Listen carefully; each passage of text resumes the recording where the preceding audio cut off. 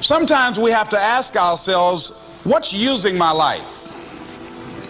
Heard a guy give a lecture one time that says, We are today what we were when. And he was talking about the fact that we, to a great extent, behave, think, react because of some previous experience that we've had. One of the things that we know about life is that it is always changing.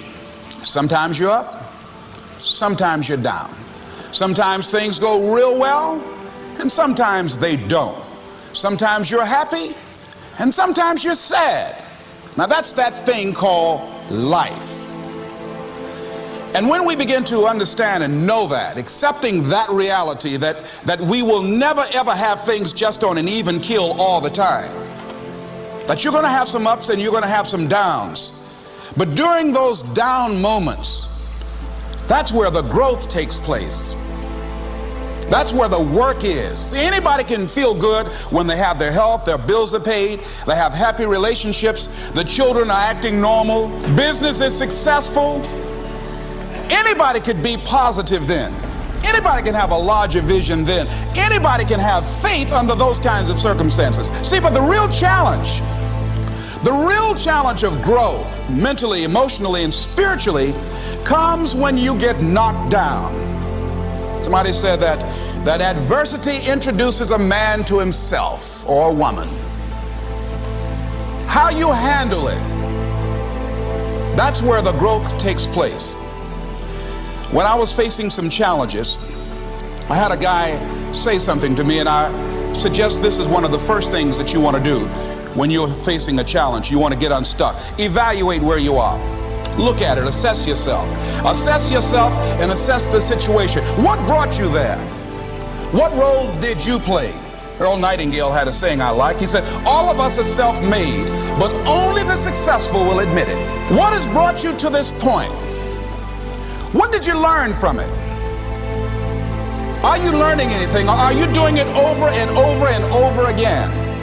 Somebody said that insanity is doing the same thing in the same way, expecting a different outcome. Are you going through it or are you growing through it? Are you bigger and better because of it? Because it's not going to leave you until you grow through it. I was going through a major challenge in my life that was wearing me out, that was using me. And one of my students told me in a class that I was teaching, Lessons in Truth, she said, Les, until you handle it with grace, it will stay in your face. The challenges of life. How do we get it? How do we get stuck? A friend of mine went through a divorce. My best friend. He had a wife that did not love him as much as he loved her. It was his first real true love. He was a very religious man did not believe in divorce. He made a mistake. And he paid for his mistake with a lot of pain, a lot of tears. And there came to a point where he knew he should have gotten a divorce. But he was stuck. He was stuck in something called revenge. He said, She's made me so miserable, I'm going to pay her back. He was stuck. And he stayed in there longer than he should have because it began to attack him, it began to affect him psychologically. And as a result of that, when he eventually did get a divorce, he took that same attitude to other relationships, looking for something to go wrong. He was burned so badly, he did not want to risk pain again. He was going in relationships trying to avoid pain. When it became too close, he would do something to make sure the relationship did not work. He would always try and find something wrong with the person because there are no perfect people. So if you look for it, you can find it. He was stuck in revenge. Another friend of mine, working on a job, loved the company very much, expected to retire there. And one day they call him in the office asked him for his badge and identification, told the security man up, walked into his desk, told him he was fired and he had to leave then. He was devastated. And if you came anywhere near him, he will tell you his story, as we all have stories. Even when he got a job, he went on the job telling anybody who would listen how they fired him unjustly. And he always ended with, it wasn't fair. Life isn't fair. Life just is. It's not fair that birds eat worms, and they do. So we, we can't even deal with what's fair. But he's stuck in the fact that it's not fair. I don't deserve that. They were wrong. I used to be a state legislator in Columbus, Ohio. During the break, we used to go out on the front lawn of the Ohio legislature, at the Capitol there, and observe people as they came by. There was one particular person that all of us knew.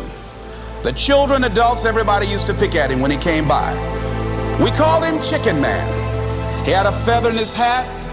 He had a toy chicken on top of his car that he would drive around the area in downtown, blinking his lights and occasionally blowing his horn. When he got out of his car, he would drive, he would walk downtown with a baby carriage with two little baby dolls in there and a picture of a woman. And when you say something to him or came near him, you would hear him making the sounds of a chicken. All of us used to laugh at Chicken Man. We didn't know Chicken Man's story.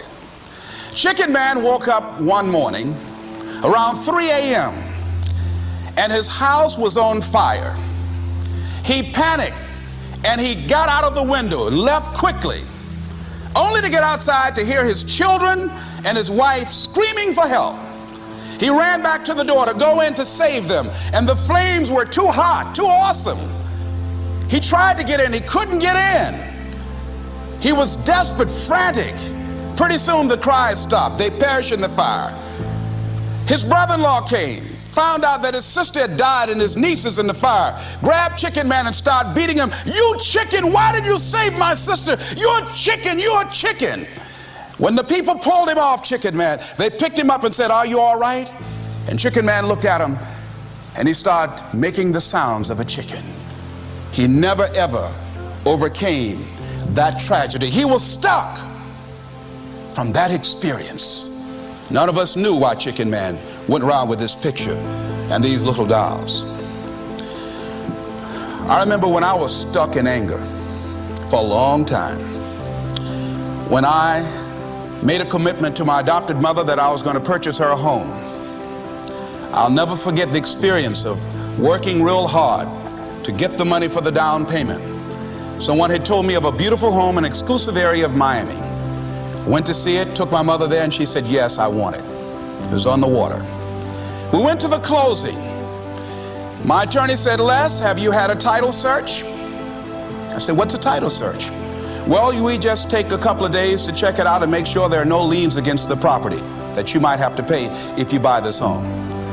The guy who was there selling me the house, he said, listen, he said, the only reason that I'm selling you this house and selling it at a loss is because I admire the fact that you want to purchase this house for your mother.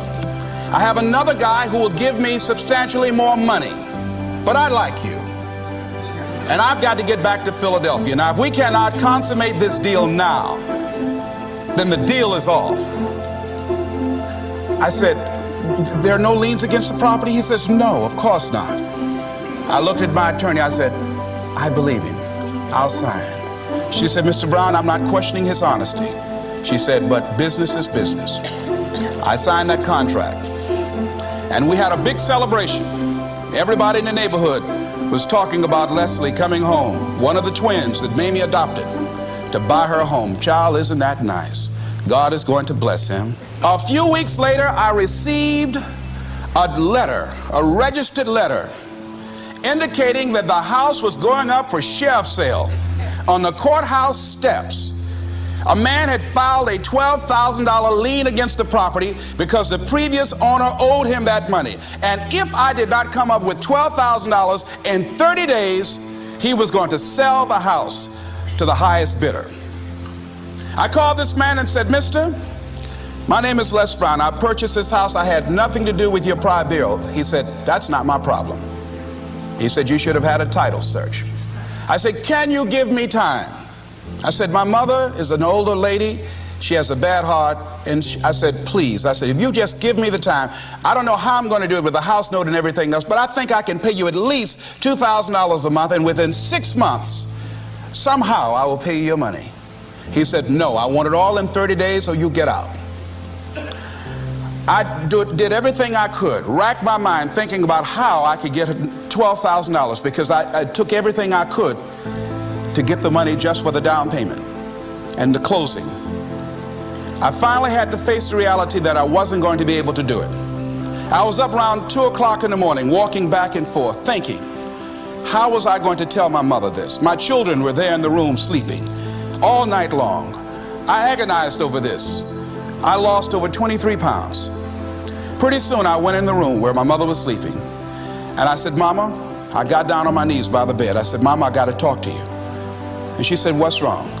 I said, Mama, I said, we got to get out the house. I said, in my haste to buy the house, I made a mistake. She said, That's all right, baby. I didn't like this house anyhow. I said, Mama, you told me you loved it.